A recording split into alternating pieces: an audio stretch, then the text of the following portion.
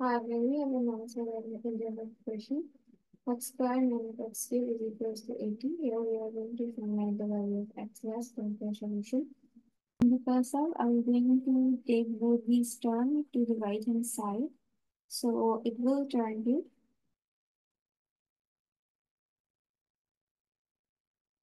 this will turn to positive will turn to negative x squared. Now I'm going to rearrange it according to the power x cubed minus x squared plus 18 is equals to 0. Now I'm going to split this 80 according to both the power. Here we have 16 plus 64 is equals to 0. In the next step, I'm going to change both these numbers in the form of power. So x cubed minus x squared. This is uh, 4 raised power 2 power 4 raised power cube is equals to 0. Now here I am going to rearrange it with the same power x cubed plus 4 cube bracket. Here we have this minus x squared plus 4 square is equals to 0. Now, the next step, I am going to multiply this sign with this bracket. So, x cubed plus 4 cubed minus x squared minus, minus plus minus 4 4 squared is equals to 0. Now, I am going to use the algebraic identity, the three formula, and the total square formula. So, here we have a cube plus b cube is equals to a plus b a square minus ab plus b square. And the perfect square formula we have a square minus b square is equals to a plus b minus b. Now going to grab with this algebraic identity in replacement of this and in replacement of this. So it will turn to x plus 4 bracket x square minus 4x plus 4 square minus x plus 4 x minus 4 is equals to 0. Now here I am going to take the greatest common factor of x plus 4 so here now I'm going to write x squared minus 4x and the double of is 4 and 16. Here we have the negative sign, so I'm going to multiply this sign with this uh, bracket, so it will turn to x minus minus plus 4 is equals to 0. Now the next step, I'm going to add up the log terms x square minus minus plus minus 5x and plus plus plus we have 20 is equals to 0. now we have the new solution x plus 4 is equals to 0 and x square minus 5x plus 20 is equals to 0 here x is equals to minus 4.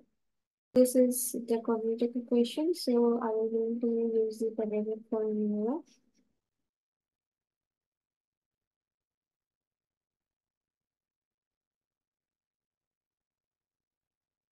This is A, B, and C. So here we have negative 5 plus minus negative 5 and 1 and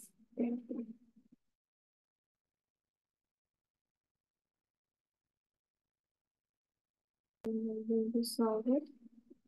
5 plus minus 25. Uh, as I multiply 5 twice, negative 5, so it will turn to positive 25. Minus 4 20 times give you 80 over 2.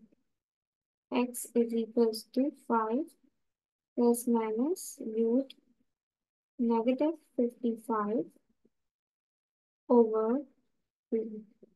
x is equals to 5 plus minus. Here we have the negative sign, so the root of negative 1 is iota. So here root 55 iota over 2. x is equal to plus root 55 iota over 2. This uh, we're going to consider a 2 and this 3 and the first one we found out that is x is equal to negative 4. Um, our x3 we have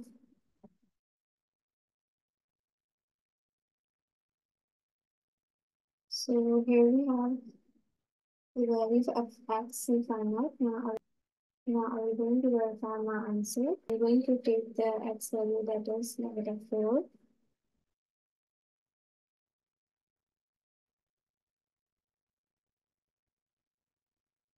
These two x values uh, is the complex solution. And we're going to verify my answer by plugging the value of x of x1 in the equation. Now our x value are take x1 negative 4.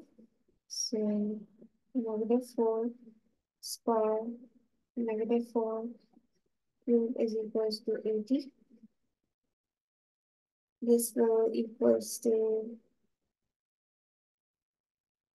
16 minus this will equals to negative 64 is equals to 80 and 16 plus 64 is equals to 80. Here minus minus plus. So 80 is equals to 80. So the left hand side equal to the right hand side. If the value of unknown, that is absolutely correct. Thank you for watching my video. Not subscribe to my channel, please do subscribe to my channel.